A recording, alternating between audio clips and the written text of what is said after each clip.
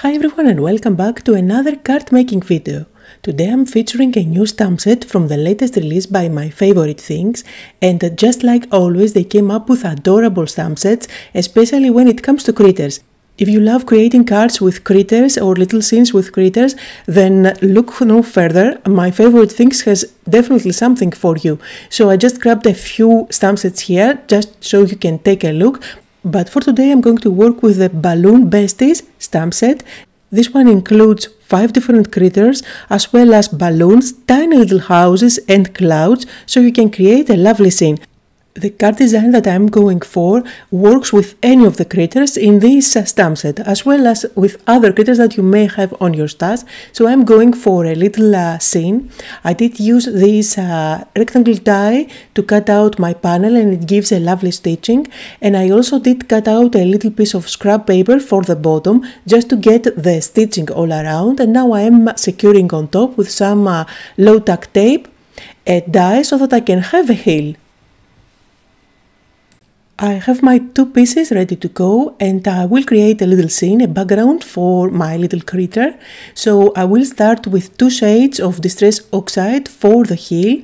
I'm going with light to cover it up completely. And then just to avoid having a flat color all over the place, I will go with a darker shade. Any two shades of green, any ink would work for this technique. I am working on a non-stick silicone mat. This is by Waffle Flower and I do that just because I want to see if my background is um, dirty. Sometimes when I do inking on top of my glass mat, just because this one is black, I don't see that it is dirty and I get splotches on areas that I don't want to have. Now I will repeat the same process using two shades of blue for my sky.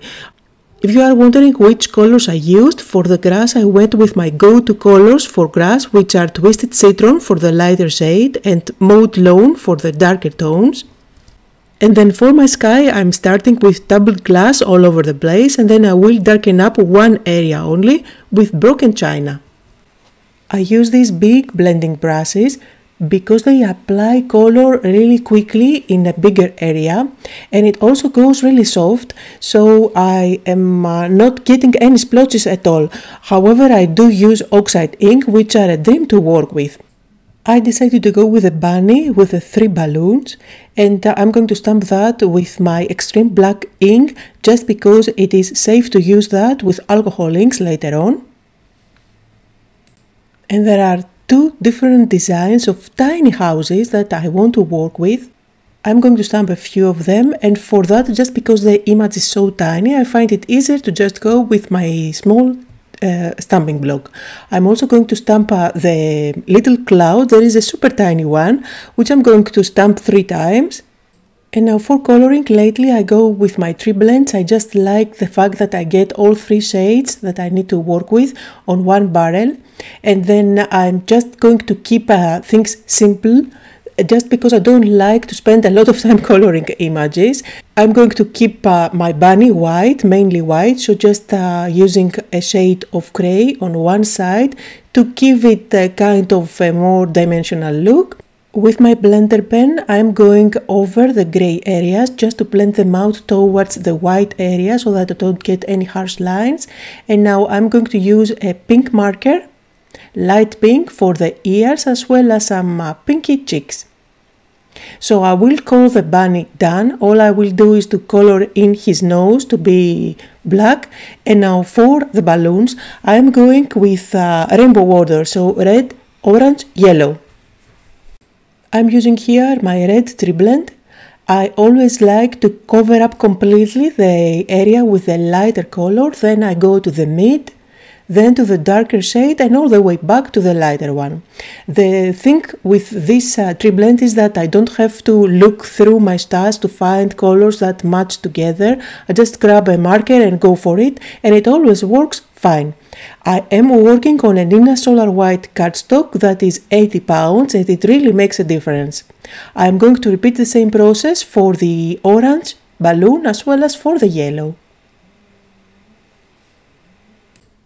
If you need to know the exact uh, names of the markers that I used, uh, they are dark red blend for the red.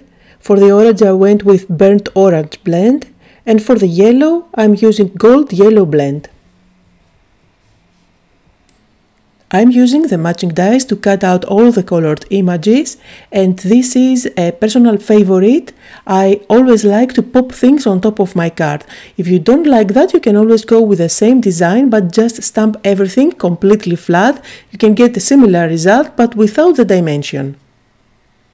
I used glue to stick the grass at the very bottom and in a lovely background like this one, you can use any critter that you have on your stas. You can add clouds in the air or just balloons up there.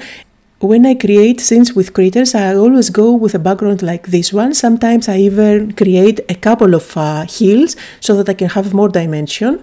But um, you can never go wrong with a background like this one. I like to have elements going out of the edges of the panel. I think that it adds more interest on a card. That's why the balloons are uh, going outside of that corner. I'm also sticking down the tiny houses. This way it gives the illusion that the bunny is flying up high while the village is far far away at the background.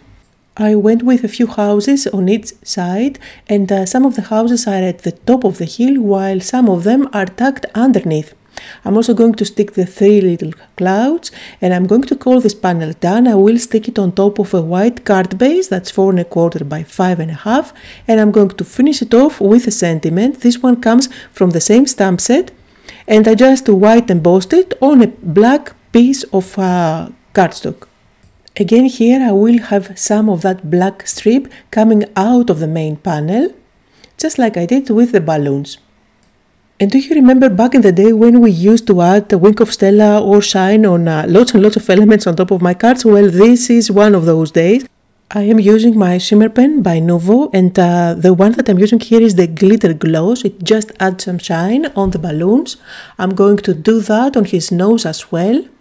And then to finish it off, I'm going to use my Nuvo drops in black, always make sure that you try it out on a scrap piece of paper before you go ahead and add the dots on his eyes because you may ruin the card at this point.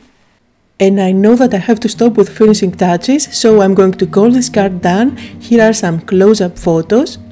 Cards with critters are sure to put a smile on the recipient they are so cute and you can never go wrong with them.